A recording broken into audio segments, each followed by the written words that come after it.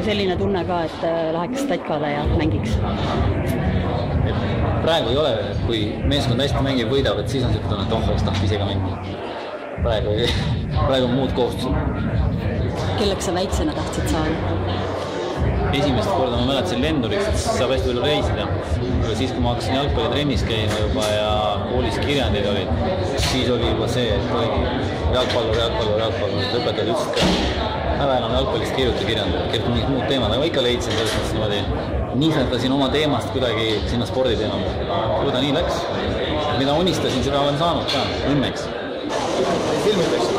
ma võin ka filmi peale teada või? Enda on no mina olen Tohver, mina olen Toomas. kõik retromehed.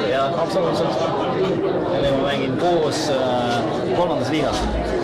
Eesti praegu veel kolmandas mitte ei liigas. mängi koos Guelfi, aga mängime Eesti kolmandas liigas jalgpalli. jalgpalli, jah. Suhtlema ja õpetama. õhtul reporterisse. jaa.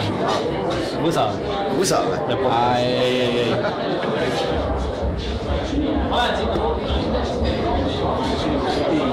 mul on hea meel teid siin näha, et Viktor on kadunud ja Šeretni kaks kuskil ära. et aga sihuke, me tahtsime nagu tänada teid tegelikult selle, selle eest, et te nagu aitasite meid ka neid organiseerida ja, ja läbi viia ja nagu te näha võite, siis see tagasiside on ju vanematel hea.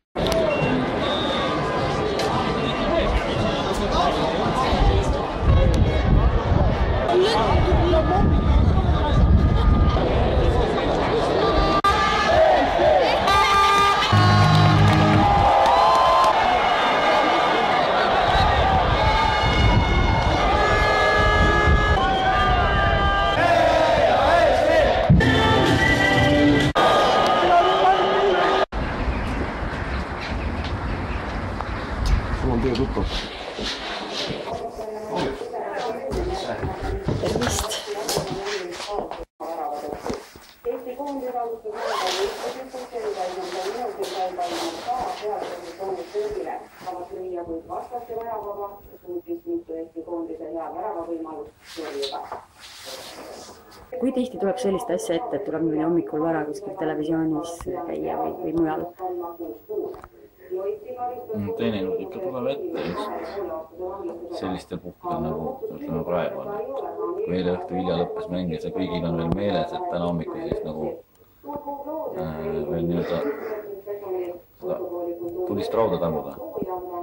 aga räägi üldse oma päevast, et mis sa teed, et milline su päev vä- välja näeb? noh, tavaline meediatele vastamine, jooksvad küsimused, mis seal on ja mängude ja turniiride korraldamisega on organisatoorne töö rohkem aega on, siis mõtleme kolleegidele uusi strateegiaid välja, kuidas mänge paremini reklaamida ja noh, räägi, mis sa nüüd tahad, mis, no mis, no selles mõttes, et ma arvan, et kuna meil ei ole videot väga, noh, me ei suuda hakkida nii kiiresti ära kõik, eks ju, ei ole nagu, ma ei saa sulle öelda, et vot seda minutit asja või mingeid asju võiks nagu põhimõtteliselt, mis sulle nagu mingitest asjadest, mis sulle jäid silma, mis olid, ütleme, võib-olla vaata, mis on nagu eestlaste jaoks natuke nagu harjunud situatsioon, on ikkagi see rünnaku ülesehitamine.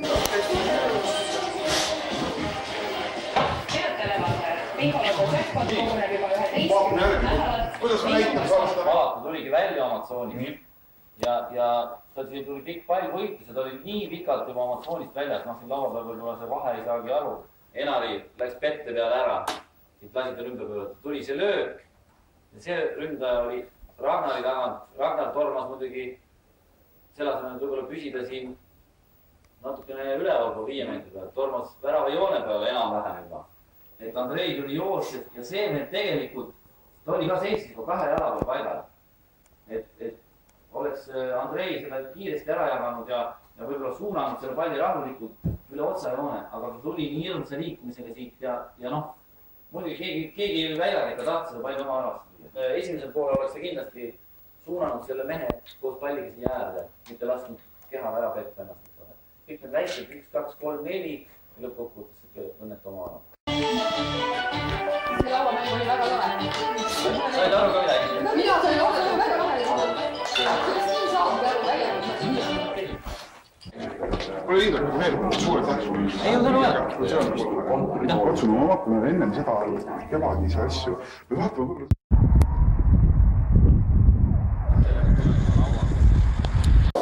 No me siis pesitseme. mina esitasin. kas oled oma eluloo raamatu Pool elu suluseisus kirjutamisega juba pihta hakanud? ei ole. kahju ei ole, et kümme aastat hiljem ei sündinud.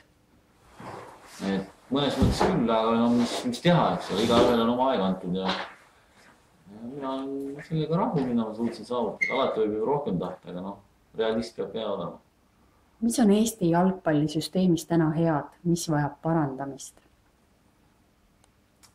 võib-olla olekski roh-, natuke rohkem vaja veel süsteemsust selles mõttes, et klubide struktuur paika selles mõttes, et kes konkreetselt mida teeb ja kelle, kes mille eest vastutab ja noh, see kindlasti oleks vaja rohkem rahalist ressursse, sest Eestis paraku ei toimi see vabatahtlik süsteem.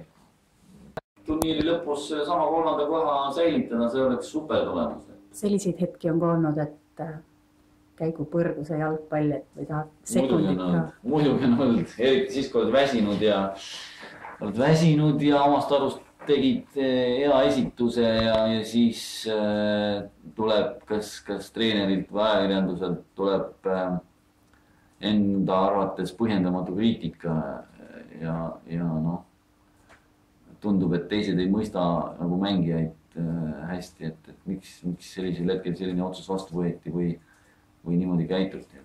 aga ma ütlen, et puhkab välja ja, ja noh, rühid edasi ja oma eesmärkide suunas ja kas Eesti jõuab kunagi EM-i või MM-i finaalturniirile? ma arvan ikka jõuab.